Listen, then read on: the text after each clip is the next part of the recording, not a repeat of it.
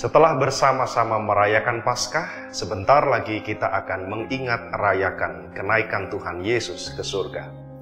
Kenaikannya bukanlah sebuah kepergian yang meninggalkan kekosongan dan kesesakan hati, sebab ia menjanjikan seorang penolong, yakni Roh Kudus, yang akan senantiasa menyertai kita dalam menjalani kehidupan. Sama seperti para murid, kita pun diminta untuk menghayati masa-masa penantian akan hadirnya Sang Penolong, yakni Roh Kudus.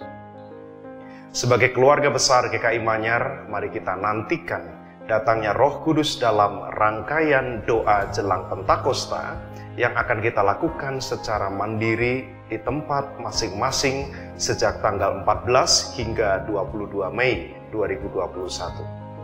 Liturgi harian doa jelang Pentakosta dapat diunduh mulai tanggal 9 Mei melalui tautan www.gkimanyar.org slash Pentakosta 2021. Berikut ini adalah tata cara doa jelang Pentakosta yang dapat Anda lakukan bersama dengan rekan, kerabat, atau keluarga Anda. Awalilah doa jelang Pentakosta ini dengan menaikkan doa pembuka yang telah tertulis di dalam liturgi yang ada di tangan Anda. Buka dan bacalah teks Alkitab yang tertulis di dalam liturgi yang ada pada Anda. Bacalah renungan yang tertulis di dalam liturgi yang ada pada Anda, atau jika Anda beribadah bersama dengan keluarga, maka Anda dapat meminta salah seorang dari anggota keluarga Anda untuk membacakan renungan tersebut. Refleksikanlah renungan tersebut dengan menggunakan bantuan poin-poin refleksi yang tertulis di dalam liturgi.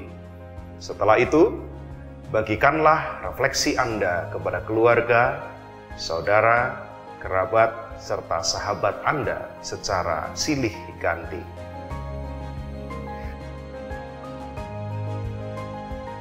Setelah saling bercerita, Anda dapat melanjutkan doa jelang Pentakosta Anda dengan bernyanyi dan berdoa sebagai penutupan ibadah Anda.